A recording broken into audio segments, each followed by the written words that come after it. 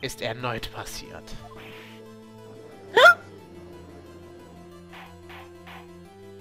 Ach, Herr Wright, fahren Sie fort. Ist so spannend. Es ist 14.30 Uhr am Tag des Mordes. Frau D. Vasquez begegnet Jack Hammer vor dem Wohnwagenstudio 2. Dann hat sie es getan. Sie hat Herrn Hammer von der Treppe auf den Zaun gestoßen. Genau wie Herr Hammer es selbst vor fünf Jahren gemacht hat. Wobei ich nicht sagen kann, ob es sie es absichtlich getan hat oder es ein Unfall war. Wow, ihre Haare haben jetzt Hörner. Äh, Anders ausgedrückt, das Opfer Herr Hammer. Er ist so gestorben wie der andere Mann, dessen Tod er verursacht hat. Wie poetisch. Damals vor fünf Jahren. Genauso war's. Welch eine Ironie, nicht wahr?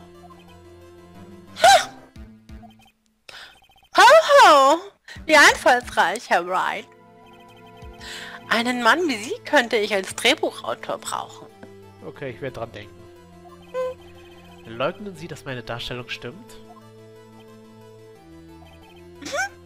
Herr Wright. Nur mal angenommen, Hammer wäre tatsächlich bei dem Wohnwagen gestorben.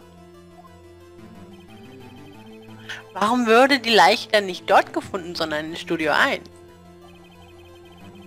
Und dann auch noch im Kostüm des bösen Richters.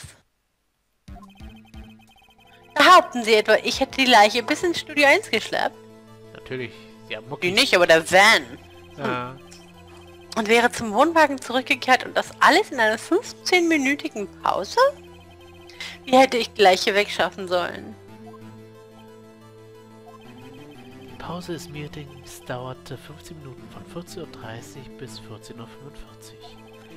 Hätte man Jack Hammer von der Treppe in den Tod stoßen und dann ins Studio 1 schleppen und in sein Kostüm stecken können? Dafür reichte die Zeit nicht. Hm, in der Tat. Nun, Herr Wright, wie hätte sich das mit der Leiche anstellen können? Van. Sie konnte sie nicht bewegen, sie konnte sie bewegen, sie fand einen anderen Weg. Oje, Anderer Weg. Hä? Anderer Weg. okay. Und wenn sie eine andere Möglichkeit als ihre Arme hatte, die Leiche zu bewegen? Hm, ihre Mugi-Männer. Natürlich. Zum Beispiel? Naja, ihre Zerstörer zum Beispiel. Was das Was da- betrifft... Ja? Nix. Kannst ruhig aussprechen. Nein, ich bin ganz mucksmäuschen Sehr gut. Was das betrifft, musste sie das Verbrechen keinesfalls in 15 Minuten verüben. Und es gab eine Möglichkeit für sie, die Leiche zu transportieren. Interessant, dann lassen Sie mal hören. Okay, es war mal vor langer Zeit.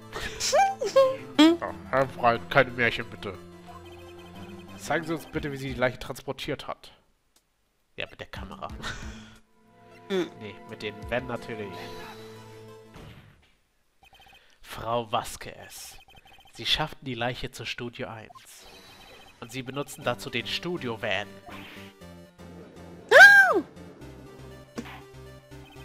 Erinnern Sie sich an Ihre Aussage. Anschließend sollte eine Probe stattfinden, deswegen begaben wir uns zu Studio 1. Ich war müde, also bat ich Sal, mich zu fahren. Dort war ein Van, okay? Ich bat Sal, mich zu fahren.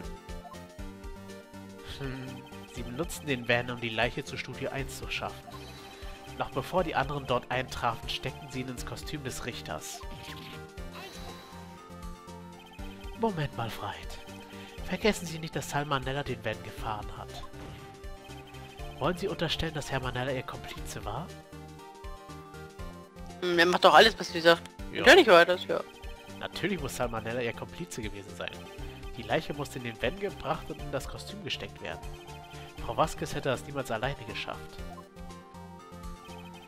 Vergessen Sie auch nicht, dass Sie das Kostüm vom Stilsamurai loswerden mussten. Das war nötig, denn es war mit Herrn Hammers Blut bedeckt. Wahrscheinlich haben Sie es in der Verbrennungsanlage verbrannt. Und das muss gedauert haben. Hm. Nun, Frau Vasquez, soll ich fortfahren? Hm. Nicht nötig. Sie sind gewiefter, als sie aussehen, Herr Wright. Na, wesen sind Sie nämlich nicht fragen. Hm.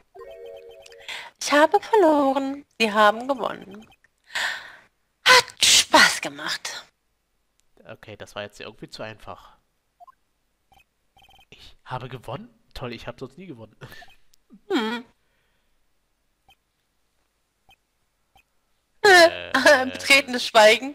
Mhm. Hm. Nun, was passiert als nächstes? Hm? Hey, lassen Sie die Fragezeichen. Haben Sie denn gar nichts zu sagen?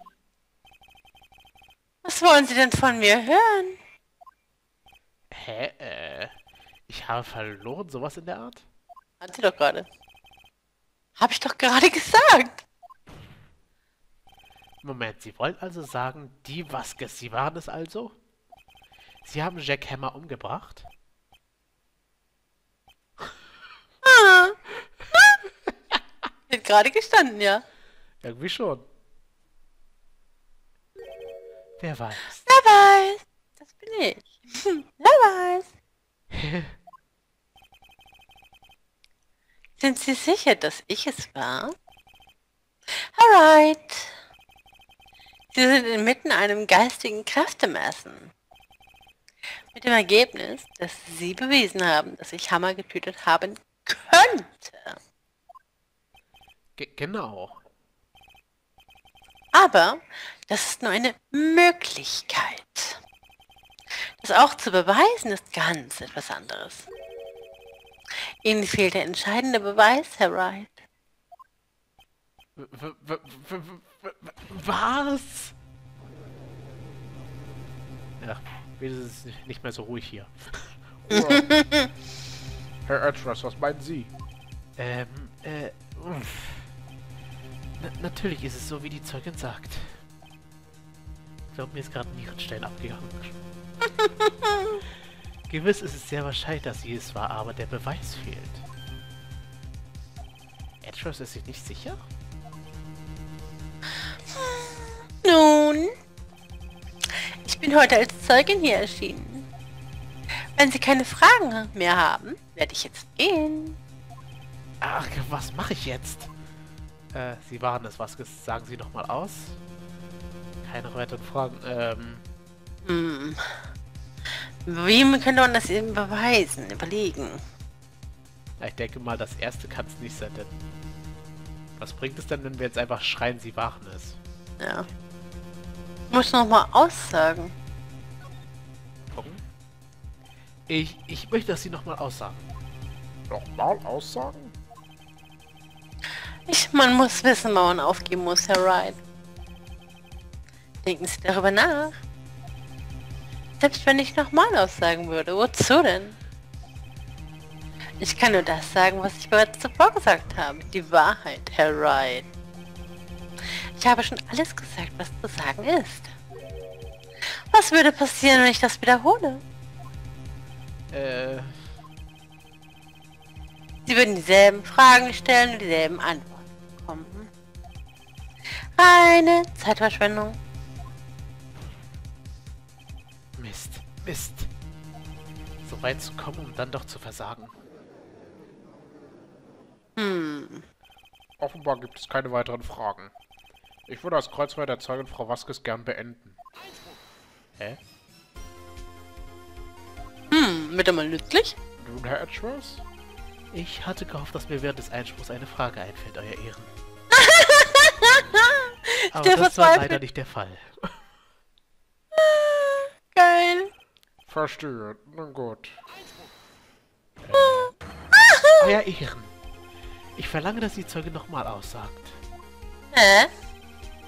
Sie sind der Ankläger, nicht wahr? Warum lassen Sie mich nicht in Ruhe? Ich bin doch Ihre Zeugin. Ich, ich möchte einfach nochmal Ihre Aussage hören. Erscheint Ihnen das sinnvoll, Euer Ehren? Ich glaube, dass es uns nichts bringt, die letzten Minuten zu wiederholen. Herr Edgeworth. Auch ich sehe wenig Sinn darin, wenn Frau Vasquez alles nochmal wiederholt. Worüber genau sollte sie denn nochmal aussagen? Uff, nun ja, äh... In der Tat, wahrlich, ich sage folglich. Ich möchte hören, was passiert ist, nachdem die Leiche gefunden wurde. Ach Nachdem die Leiche gefunden wurde? Nun gut. Die Zeugin wird vor dem Gericht in dieser Sache aussagen. Ehrlich, was ist mit Edgeworth los? Nee. Warum hat Edward? Wer weiß? Wahrscheinlich hat er auch erkannt, dass sie es war. Aber, aber... War es nicht er, der gesagt hat, dass er immer einen Schuldspruch ribbelt? Nach allem, was... Edgeworth. Ich liebe dich. Nach dem Fund der Leiche. Ich war mit Sal und Allback, der Wachfrau, zusammen, als wir, ihre Leiche, als wir die Leiche fanden. Die Assistentin war auch da, nur Powers war nicht da. Bei. Ich rief sofort die Polizei, dann tauchte Powers auf. Die Wachfrau, Oldback, sie war sehr aufgebracht. Sie zeigte auf WP und schrie, yes! Ich bat darum, mich aus den Ermittlungen rauszuhalten. Ich ging zum Wohnwagen zurück, um das Skript und die Regieanweisung zu holen. Ah, Dann ging ich nach Hause. ich glaube, ich habe was entdeckt. Mhm. Du auch? Ja, ich auch. Das Skript lag nicht im Wohnwagen, das lag im Studio Nein, 1. Nicht ganz. Danach, sie hatten doch vor zu proben, also warum hat sie das Skript dann im Wohnwagen gelassen? Hm. Und es lag in Studio 1, nicht im Wohnwagen. Na, später aber. Ja, weiß ich nicht. Also, das Skript lag ja ursprünglich im Wohnwagen und wenn die eine Probe machen wollen, hätte sie es ja vornherein schon mitnehmen müssen. Eigentlich ja.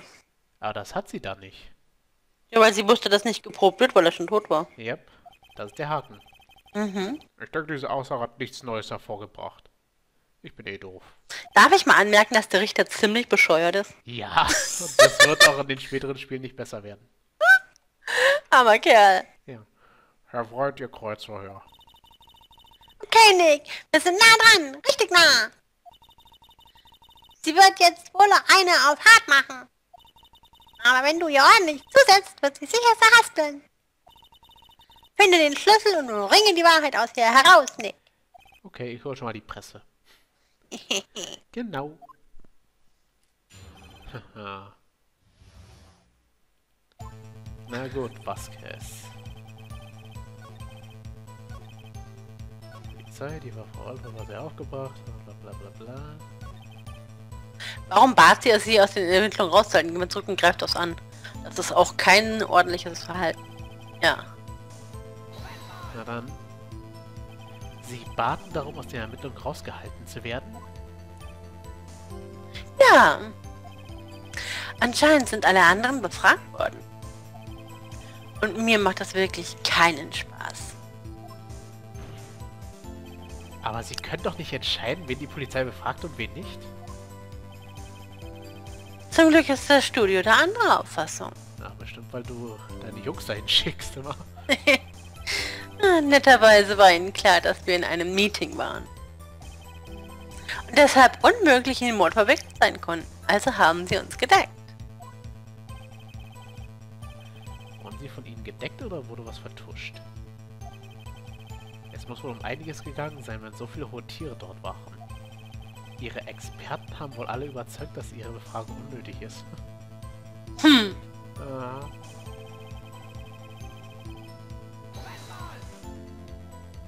Das Skript und ihre Regieanweisungen?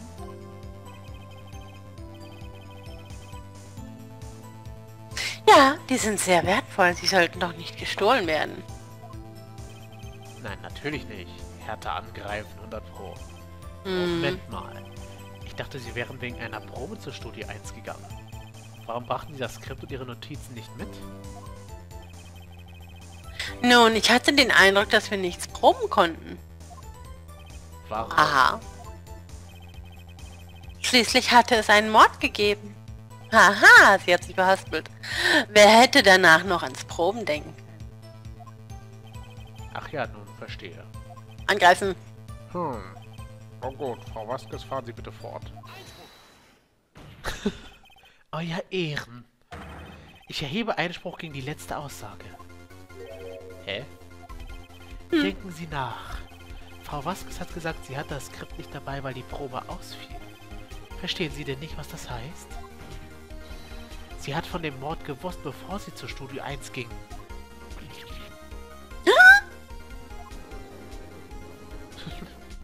Was für ein trauriger Tag, wenn das Edgeworth auffällt. Hm, ja. Und bei mir ist es auch aufgefallen. Yep. Ruhe, Ruhe.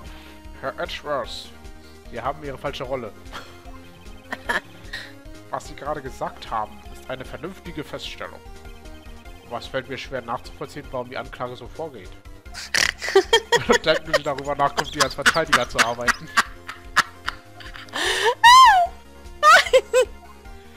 Ich, ich weiß Ihre Bedenken zu schätzen, Euer Ehren. Ich stehe jedoch zu meiner Äußerung, egal wie das Gericht meine Rolle sieht. Nun, Frau Vasquez, haben Sie eine Erklärung? Ich kann nicht fassen, dass Edgeworth mir hilft. Hm. Ja, vielleicht ist er besoffen. Hm. Die Anklage steckt also mit der Verteidigung unter einer Decke. Welch ein Gericht. Nun, was soll's? Ich glaube, Sie haben mich missverstanden. Ich hatte einen Grund anzunehmen, dass die Probe ausfallen wird. Hm. Na gut, die Zeuge wird ihre Aussage dahingehend ändern, dass sie diesen Grund nennt. Hammer war verletzt und konnte keine Action-Szene drehen, deshalb ließ sich beides dort. Aha. Woher wussten Sie von der Verletzung? Wieso war Hammer verletzt? Ich dachte, Powers war verletzt. Das ist ja der Trick. Hm. Woher ich weiß, davon dass Hammer wusste? ins Zielsamurai-Kostüm gesteckt hat und er hat ja gehinkt, damit es aussieht, als wäre er Powers. Ach so. Woher ich davon wusste?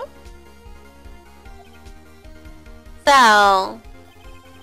Er hat's mir gesagt. Sal der Regisseur. Hm. Du musst etwas finden, was du dir anhängen kannst. Oder alles, was wir bisher getan haben, war umsonst. Glaube dich nicht. Mach sie fertig. Alles klar, ich hol die Boxhandschuhe. Haha. Okay, also war Angreifen schon mal nicht das Richtige. Also müssen wir was präsentieren.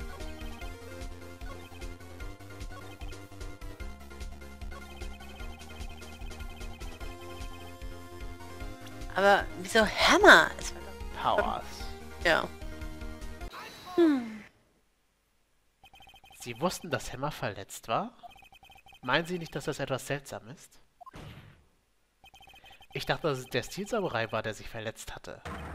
Es war Will Powers. Äh, was? Herr Freund, erklären Sie das. Ich habe schon wieder vergessen. Ja, Herr Hammer zieht auf diesem Foto sein Bein nach. Aber das hat er gemacht, weil er Herrn Powers imitierte. I imitierte? Eine Person hat sich beim Üben am Morgen verletzt. Diese Person war Herr Powers und nicht der Hammer. Warum glauben Sie also, dass Hammer verletzt war?